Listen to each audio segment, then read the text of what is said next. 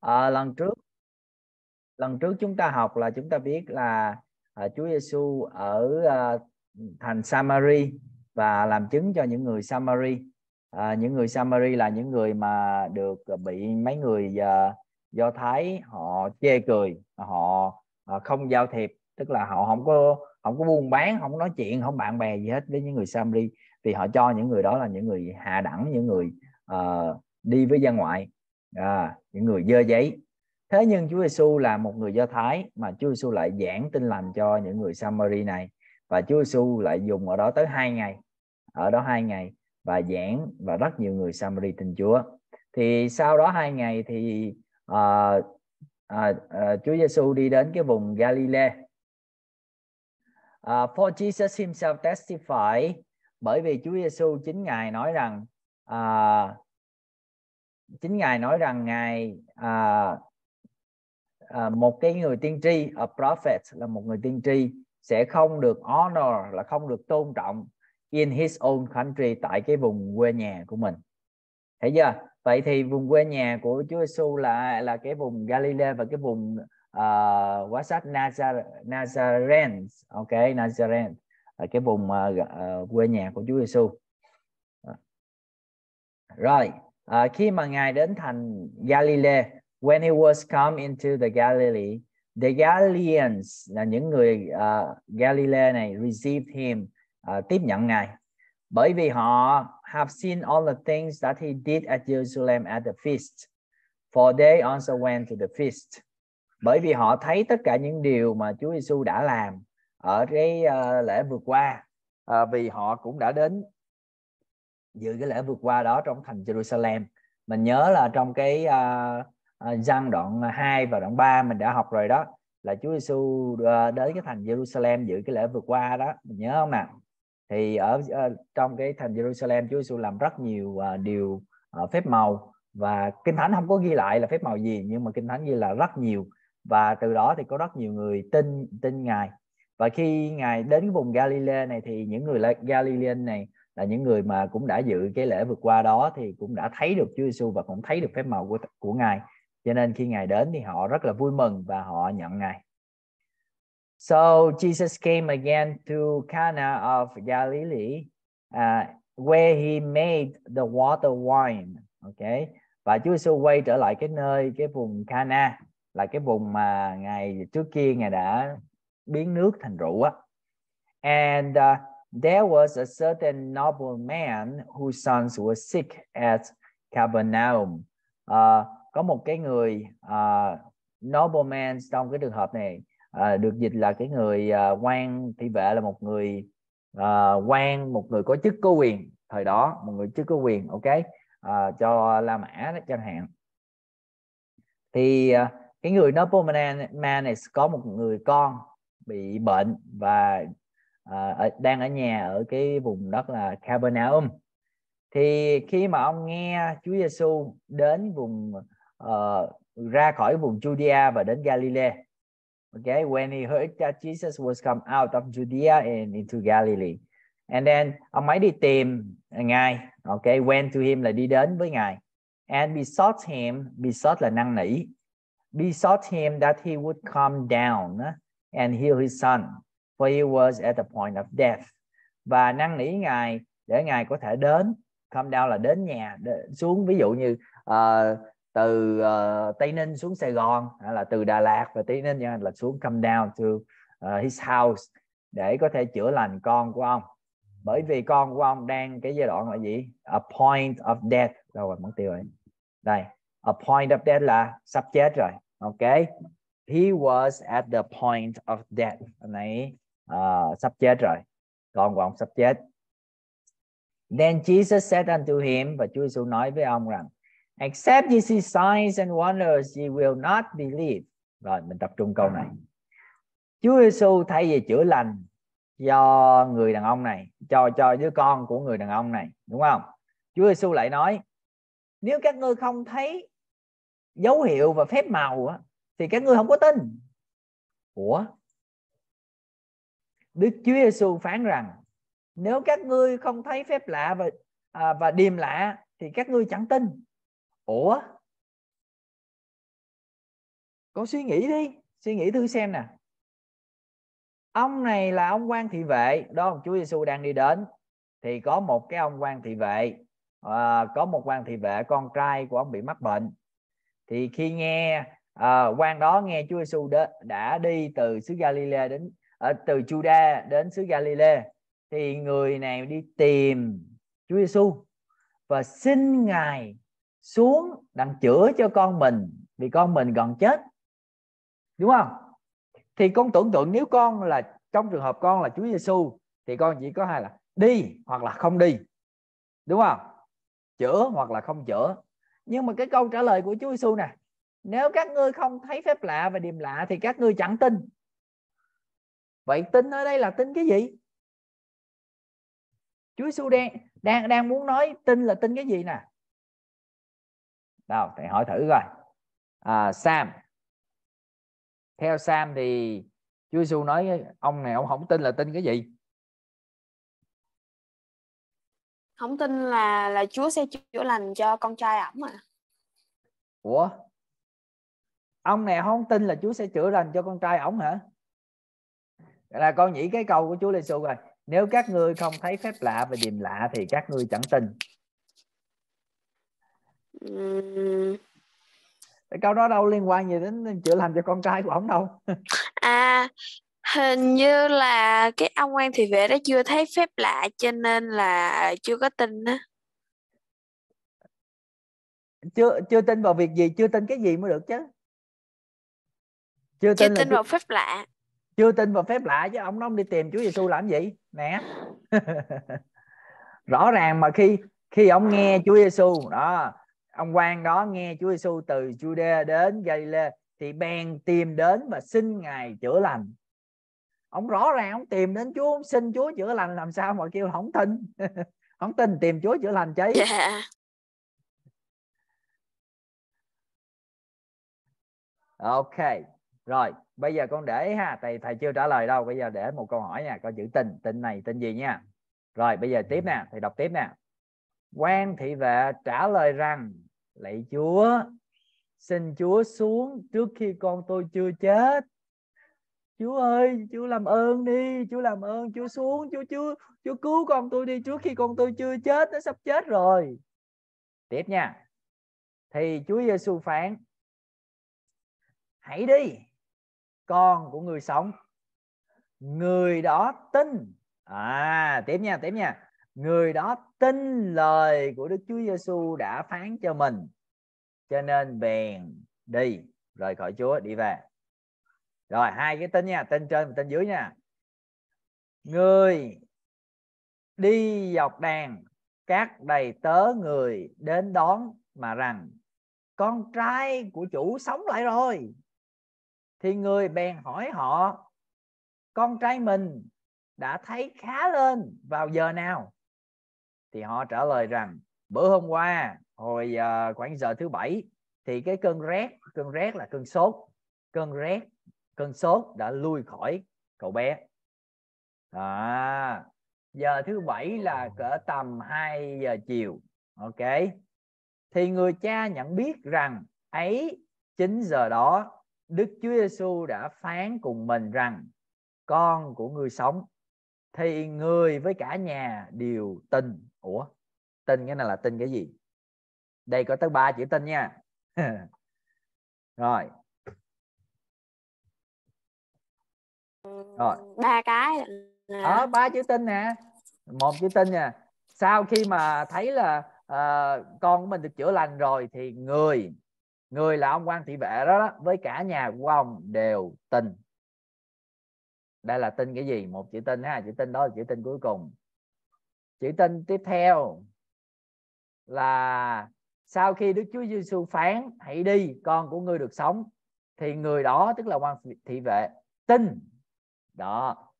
Đây là sự tin thứ thứ thứ, thứ nhì. Chưa? Rồi chữ tin tiếp theo là chữ tin đầu tiên nếu các ngươi không thấy phép lạ và điềm lạ thì các ngươi chẳng tin. Là chữ tin đầu tiên. Ba chữ tin đó, nó chỉ về hai cái vấn đề khác nhau. Rồi, ở đây thầy giải thích cho các con nha.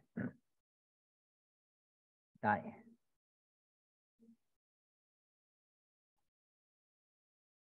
Vậy, ngài là Chúa Giêsu lại đến thành Cana cái nơi Cana là cái nơi mà có cái đám cưới, nơi mà ngài đã hóa nước thành rượu. Nguyên ở tại đó, ở tại thành Capernaum, có một quan thị vệ kia, con trai của người bị mắc bệnh. Quan đó nghe Đức Chúa Giêsu đã từ Đức, từ xứ Jude đến xứ Galilee, bèn tìm đến và xin ngài xuống đặng chữa cho con mình gần chết vậy rõ ràng quan thị vệ có niềm tin vào Chúa Giêsu rằng Chúa Giêsu có quyền năng chữa bệnh cho con của mình. Đúng chưa? Quan quan thị vệ tin rằng Chúa Giêsu có quyền năng chữa bệnh cho con của mình vì quan thị vệ biết rằng Chúa Giêsu đã biến nước thành rượu. Quan thị vệ nghe về những câu chuyện mà Chúa Giêsu đã làm ở thành Jerusalem thấy giờ cho nên quan thị vệ mới, từ đức tin đó, quan thị vệ mới đi tìm tìm Chúa Giêsu và xin Chúa Giêsu chữa lành chứ. Đúng không? Vậy quan thị vệ đã có đức tin rằng Chúa Giêsu có thể chữa lành cho con mình rồi. Nhưng mà Chúa Giêsu không cần đức tin đó, Chúa Giêsu cần đức tin khác. Đức Chúa Giêsu phán rằng, nếu các ngươi không thấy phép lạ và điềm lạ, thì các ngươi chẳng tin. Chữ tin ở đây là Chúa Giêsu muốn nói về, tin ta là đấng cứu rỗi, ta là chưa Chúa Trời. Ca là đấng Messia đấng Christ. Bài trước thầy đã giảng rồi đó, đấng Messia đấng Christ đó. Thấy giờ những cái người do tha, những người ở Galilee này, họ không, họ tin Chúa Giêsu có thể làm phép màu. Họ tin Chúa Giêsu là người tốt, nhưng họ không tin Chúa Giêsu là đấng Messia họ không tin Chúa Giêsu là con của Đức Chúa Trời đã đến thế gian này để giảng tin lành cho họ, và con của Đức Chúa Trời đã đến thế gian này để chết thay cho họ. Họ không tin điều đó. Bây giờ họ muốn thấy điềm lạ và phép lạ để họ có thể tin. Ngài muốn là con của đức chúa trời thực hiện phép lạ để cho tôi tin. Thấy chưa? Và chúa giêsu đang nói với ai? Nếu các ngươi là những người Galilean những người ở vùng Galilee, chứ không phải chỉ riêng Moan thị vệ. À những người ở vùng Galilee, họ tin không phải bởi vì bài giảng của Chúa. Họ tin Chúa là con Đức Chúa Trời bởi vì họ thấy những phép lạ và điềm lạ. Vậy những người này, họ đi tìm phép lạ và điềm lạ, chứ không phải đi tìm Chúa. Họ đi rõ ràng mà nếu các ngươi không thấy phép lạ và điềm lạ thì các ngươi chẳng tin mà. Họ chỉ muốn phép lạ và chỉ muốn điềm lạ thôi. Vậy chữ tin này là Chúa Giêsu nói, các ngươi chẳng tin ta là con của Đức Chúa Trời. Thì lúc này quan thị vệ mới quay trở lại vấn đề. Quan thị vệ nói lại Chúa, xin Chúa ờ, đến xuống trước khi con của tôi chưa chết. Chúa ơi, cứu con tôi. Đó. Thì lúc này Chúa Giêsu mới phán là, hãy đi, bây giờ ngươi đi đi, con của ngươi sẽ được sống người đó tin lời của Đức Chúa Giêsu đã phán cho con mình bèn đi. Vậy chữ tin này là ông này tin lời của Chúa Giêsu phán rằng con mình đã được ờ, đã được uh, sống. Thấy chưa? Vậy ông chữ tin này là ông thị vệ tin vào sự chữa lành của Chúa Giêsu tin rằng Chúa Giêsu đã chữa lành cho con của mình rồi. À và đó là tin lời của ngài rồi sau khi họ ông này quay về thì thấy đầy tớ dọc đàn và đầy tớ nói rằng con của ông đã sống rồi là mạnh khỏe rồi. Thì ông hỏi là vào giờ mấy? Thì ông nói vào giờ thứ bảy tức là 2 giờ chiều. Thì ông cha biết rằng à lúc đó là Chúa Giêsu chính là đó, là đấng mà đã phán con của ông sống. Ông kể cái câu chuyện này thì lúc này người ông với cả nhà đều tin. Tin đây có nghĩa tin rằng Chúa Giêsu là con một của Đức Chúa Trời, Chúa Giêsu là đấng Messia đến thế gian này chết thay cho chúng ta. Thấy chưa? Tên Chúa Giêsu là con của Đức Chúa Trời. Đây là chữ tin cuối cùng. Thấy chưa? Vậy, ở trong phép màu đây chúng ta thấy nè. Cái quan trọng đối với chúng ta không phải là phép màu, chữa lành. Cái quan trọng của chúng ta đó chính là tin rằng Chúa Giêsu là thực sự là đấng cứu rỗi, mới là cái quan trọng.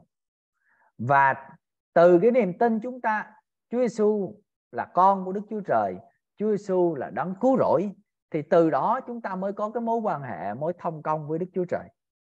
Còn phép màu và điềm lạ là chỉ dành cho những người Do Thái, tại vì họ cứng đầu, cứng cổ. Họ không có tin, họ cần có phép lạ để họ tin thấy chưa? Còn chúng ta là những người đã tin Chúa rồi. Thì chúng ta có cần những phép lạ và điềm lạ này không? Dạ không. Không. Dạ không. À, chúng ta không cần phép lạ và điềm lạ nữa. Vì Chúa Giêsu nói phước cho những người không thấy mà tin. Ông Thomas ông không có tin Chúa. Ơi làm gì? Chúa Giêsu làm gì? Sống lại bây giờ chừng nào tôi thấy Chúa đi, tôi chạm đến Chúa đi, đụng vô cái tay của Chúa thì đụng vào cái cái tay mà có lũng dấu của bàn tay dấu đinh của Chúa đi rồi tôi tin. Ông Thomas, ông nói vậy đó. Cái Chúa Giêsu hiện ra giữa giữa giữa đám đông họ luôn. Và Chúa Giêsu nói, Thomas Thomas lại đây, lấy cái tay người đụng vào chỗ chỗ lũng trong bàn tay của ta nè, để cho người tin. Ông Thomas không đến và ông run cặp cầm cầm cặp cặp Chúa ơi, xin Chúa tha thứ cho con con tin rồi. Chúa Giêsu nói người thấy rồi người mới tin. Nhưng mà phước thay cho người nào chưa thấy mà đã tin. Thấy giờ vậy chúng ta tin Chúa thì chúng ta không cần những điều điềm lạ và dấu lạ này để làm gì. Vì ngày hôm nay có rất nhiều những nhóm, những người cơ đốc nhân những người tự xưng là tin Chúa, nhưng mà họ, thay vì họ đã tin Chúa rồi mà họ lại cứ đi tìm dấu lạ, đi tìm điềm lạ à, à, đi tìm những dấu lạ ví dụ như là Chúa ơi con giơ tay lên trời con kêu là hôm nay sẽ không có mưa. Trong danh Chúa con dừng mưa gì đó tìm những dấu kỳ điều lạ. Những đó là những thứ mà Chúa Giêsu không có ban cho chúng ta. Chúng ta không có cái quyền trên thiên nhiên tự nhiên. Ok? Và thứ hai nữa những dấu và điềm lạ là dành cho những người chẳng tin chứ không phải cho những người đã tin. Đây thầy chỉ cho con một câu kinh thánh nói về điều đó nha. Ok. Signs are for unbeliever. À, trong cô Đinh Tô nhất đoạn 14 câu số 22 cô Đinh Tô nhất đoạn 14 câu số 22 đây. Thế thì các thứ tiếng là một dấu chẳng cho người tin Chúa, xong cho người chẳng tin. Đấy chưa? Các thứ tiếng lạ, các thứ ờ, phép màu là những, là là một cái dấu, một cái sign, là một cái dấu hiệu. Không phải là cho người đã tin Chúa rồi đâu, mà dành cho người chẳng tin. Và trong trường hợp này, Chúa Giêsu đang nói về những người Ga, ờ, uh, Galilee cũng như vậy Đó.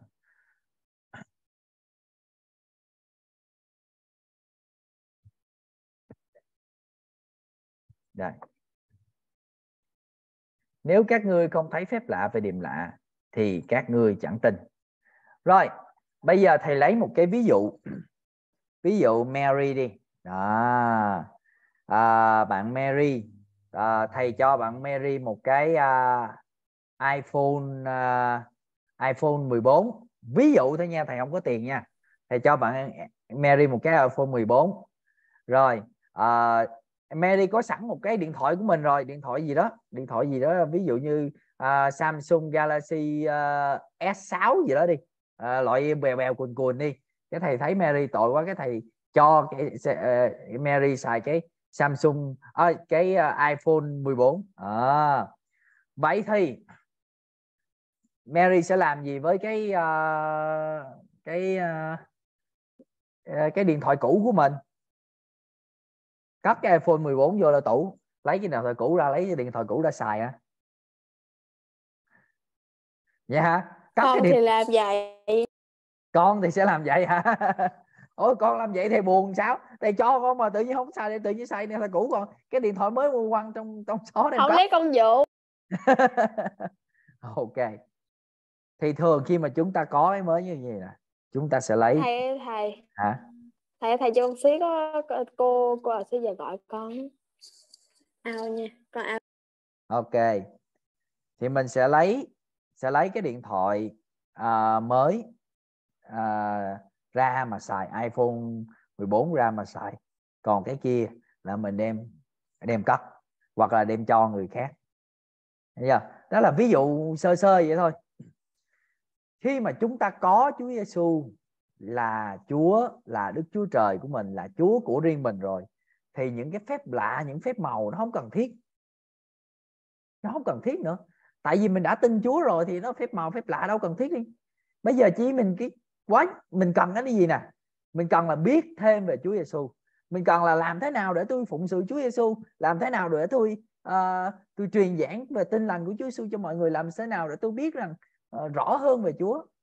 Làm thế nào để tôi có thể đưa được cái uh, tiền của của tôi lên trên trời? Làm sao để tôi lên trên trời thì Chúa tôi hài lòng? Chúa Giêsu sẽ nói ơ đây là đầy tớ trung thành của ta. Vào đây vào nơi an nghỉ vào nơi mà ta đã chuẩn bị cho ngươi nè vào nơi ta đã sắm sẵn cho ngươi nè.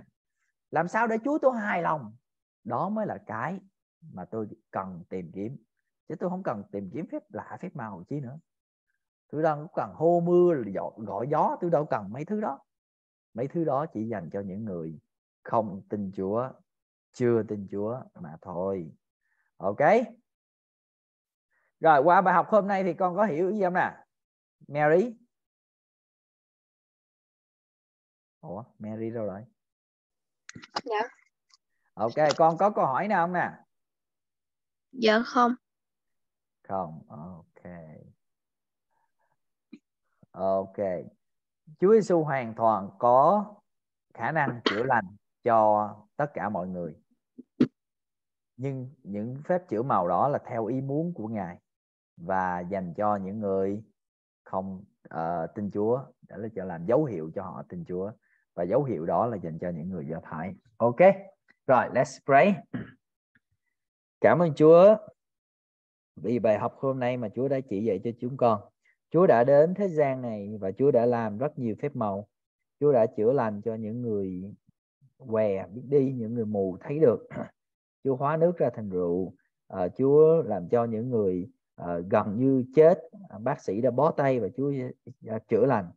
Tất cả những phép màu này Chúa làm bởi vì tình yêu thương của Chúa và quan trọng hơn hết Chúa làm cho những người dân Do Thái này để họ thấy để họ có thể tin rằng Ngài là con của Đức Chúa Trời, Ngài là đấng Messiah, Ngài là đấng Christ, Ngài là Đức Chúa Trời đời đời đã đến thế gian và chết thay cho tội lỗi của chúng con. Cảm ơn Chúa nhiều lắm vì chúng con chưa thấy Ngài, chúng con chưa thấy Ngài trong thể xác chúng con nhưng chúng con thấy Ngài trong tâm hồn của chúng con. Chúng con tin rằng Ngài yêu thương chúng con. Ngài yêu thương chúng con, Ngài nói rằng trong Kinh Thánh rằng từ xưa đến nay và mãi mãi Chúa Giêsu không bao giờ thay đổi. Tình yêu mà Chúa Giêsu đã ban cho chúng con khi Ngài chết trên thập tự cũng là tình yêu mà Chúa có cho chúng con ngày hôm nay. Vậy xin Chúa hãy ở cùng Mary. Xin Chúa giúp Mary hiểu rằng Chúa luôn luôn yêu thương Mary và luôn luôn ở cùng với Mary. Ở trong trái tim của Mary và ở bất kỳ khi nào mà Mary cần, Mary có thể gọi tên Giêsu và nhờ Ngài yêu nhờ Ngài giúp đỡ và thỉnh cầu Ngài giúp đỡ. Ngài luôn ở cùng và Ngài sẵn sàng giúp đỡ. Cảm ơn Chúa vì tình yêu thương đó mà Chúa đã dạy cho chúng con. Và chúng con dâng tất cả à, mọi chuyện lên cho Chúa. Con dâng đời sống của Mary và gia đình của Mary cũng như gia đình của con và mọi nhu cầu của chúng con cần lên cho Chúa. Con cảm ơn Chúa nhiều lắm và con cầu nguyện với Chúa chúng con trong danh Chúa Jesus Christ. Amen. Amen. À. Okay. Chào thầy. Ok, chào Sam. Ồ, oh, chào Sam Monso. Thầy thầy tí nữa thì tối thì cầu nguyện cho Sam ha. Dạ, okay. con sẽ cầu nguyện cho thầy. Ok. Chào thầy. Ok, chào Sam.